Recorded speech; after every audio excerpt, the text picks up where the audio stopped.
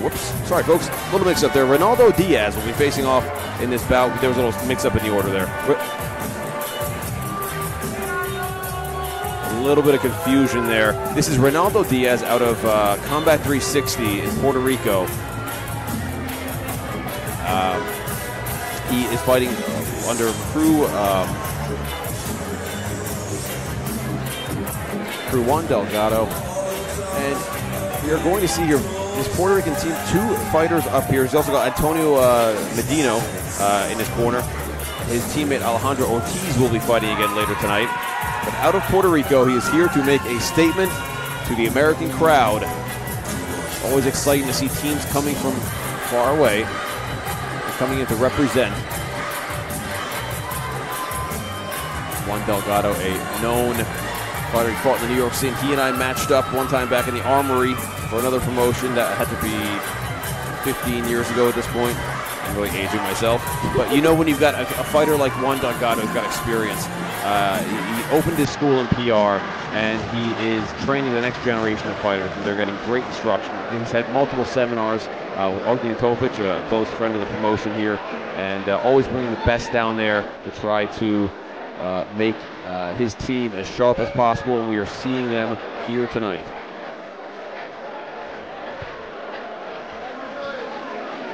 Diaz will be facing off against a well-known hometown guy, Chris Tapia out of Weapons 9, a 17 and 11 record. We saw him fight Sergio Arriaga. And prior to that, he had a huge TKO win uh, on the 21st of uh, July last year. He's had a number of fights fall through for him due to cancellations. And the last fight, he was meant to be on the show two months ago. However, his opponent never showed up to weigh in. So I guess maybe nobody told him he had to also weigh in. And then, however, that's got to be a frustrating thing. He's gone camp after camp, had opponents drop out. But Chris Tapia, always a banger of a fighter when he goes in there. Technically proficient. Chris Tran and Malcolm Hill, his coaches uh, there at Weapons 9. He says, you know, he wants the 135 pound gold, uh, gold around his waist by the end of his career and then turn pro.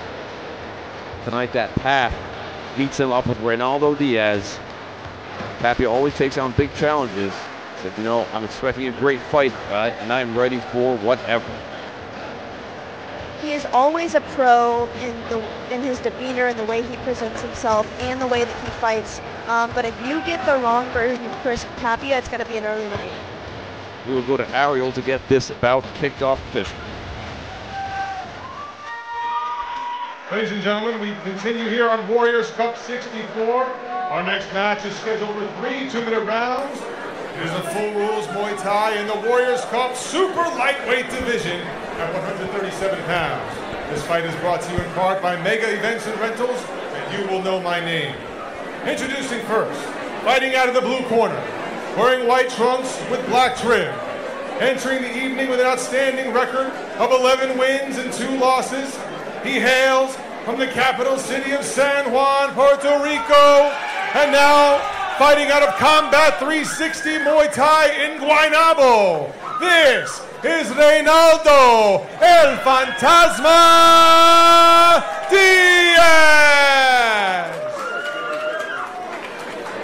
And his opponent across the ring wearing black trunks with white trim, originally from Plainfield, New Jersey. This man has thrilled fight fans for years with his aggressive style. His record 12 wins, 21 defeats, and two draws with four knockouts. Fighting out of Weapons 9 Muay Thai in Middlesex, New Jersey. Ladies and gentlemen, please welcome Chris Tapia!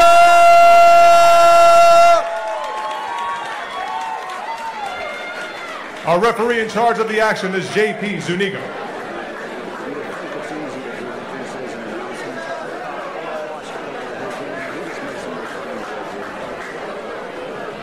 Here we go, folks. Warriors Cup 64. Lena Tarrant, LG Pinell calling the action. Chris Tapia out of the red corner. Reinaldo Diaz out of the blue, representing Puerto Rico.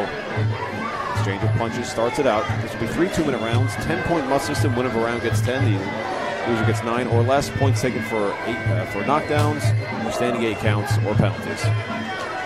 Ooh, nice high kick there from Diaz. Spinning shot. Tapia coming back quickly with those hands. I was just saying that if you get the wrong version of Chris Tapia, he is dangerous and it'll be an early night. But man, it looks like he might we might have him. Really good rhythm coming out of him. Short, strong shots. He seems really aware. Um, but the Puerto Rican, strong hands as well. A nice high kick there from Diaz. Able to be blocked. Tapia going for the body punch. Wow. Solid low kicks with Tapia with a nice left hand that lands. Wow, that left hand is going straight down the middle, whether it's to the head or the body. Nice solid right hand there from Diaz, though. Nice body kick. Lands for Tapia. Inside kick for Diaz. He's been landing a lot of those very well.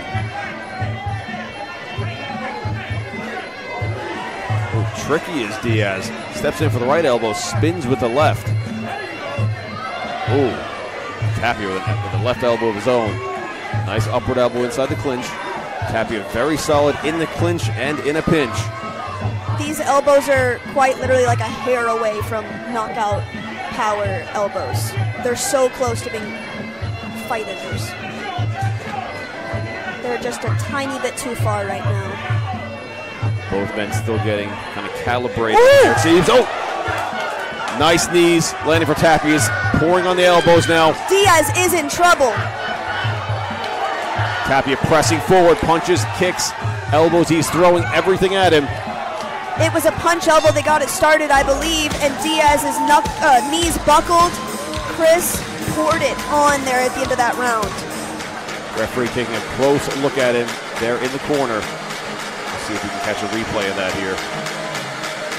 Wow, that was such amazing clinch work, um, but for it to end in such an exciting way, wow. Now we'll see Ken Diaz shake the cobwebs out in the minute he has between rounds. Here's a replay of those elbows. Let's see if this is the one that buckles his knees. Um, oh, there it was. Beautifully placed left elbow. See, look at him just on the side of the head, right near the jaw. Temporarily taking him down, but you see the grit of Diaz in there, sticking in the fight. He is not quitting anytime soon. We're going to see Ken Tapia capitalize on that early success.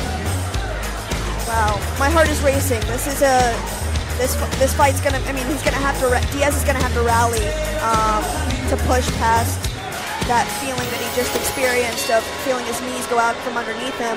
Um, but he looks very calm and collected right now, and he's even aggressing right at the beginning of this round. Referee JP Zuniga keeping a close eye on him. Diaz stepping in, nice inside kick, second inside kick. Yeah, his balance looks good. It looks like he's fully recovered from that elbow. Tapia caught those shots, paused, and smiled at him like, okay, you got that one. Diaz going for the kick, but Tapia seems to be looking for those headshots. Nice slick step away from Tapia there. I love Diaz's footwork right now, sliding forward and back, but then throwing feints as well. Nice body punch from Tapia lands. Diaz rushing into the clinch. Tapia welcomes him with an elbow. Yeah, it seems like Tapia's found a home for those elbows. He has his perfect distance kind of calibrated.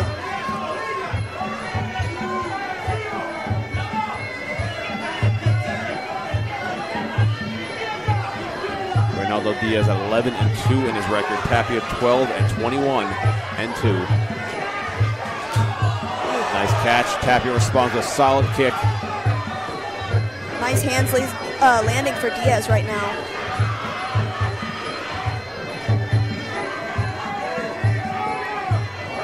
Beautiful dump by Ronaldo Diaz. Very well timed. 30 seconds remaining in this round.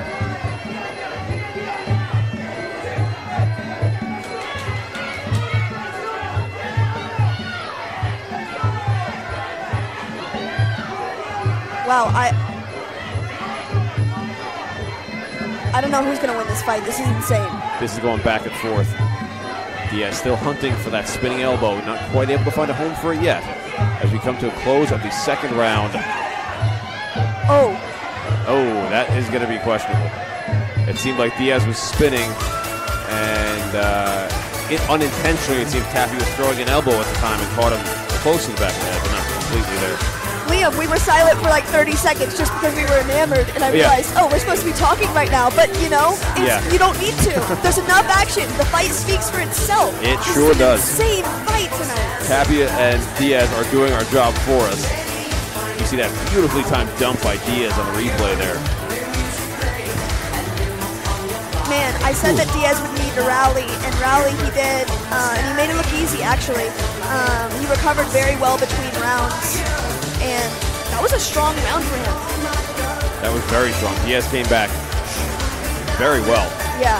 And we could be down to another situation. We've already had two split decisions tonight. We could be down to a situation where it's the third, but we will see. We have two minutes to find out who will win this fight.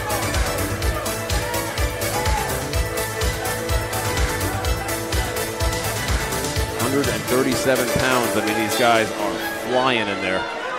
One-two starts it out for Tapia.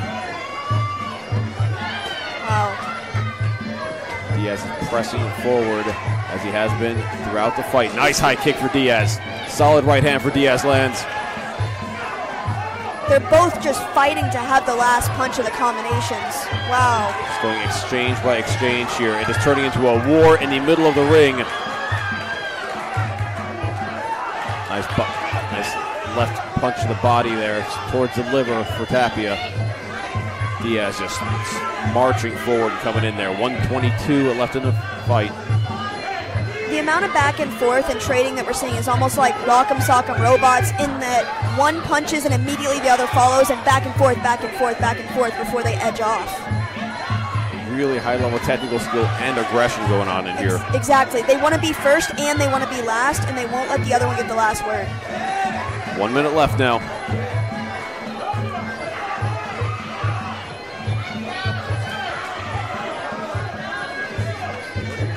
Catch there by Tapia.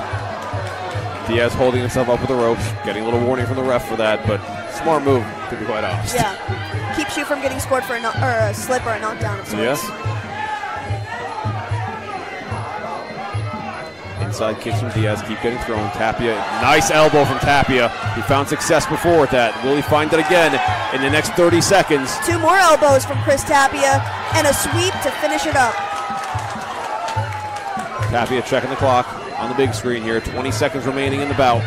Just enough time to work. Nice straight left hand down the pipe from Tapia. Diaz coming in with a right hand of his own. Power shot for power shots getting exchanged here.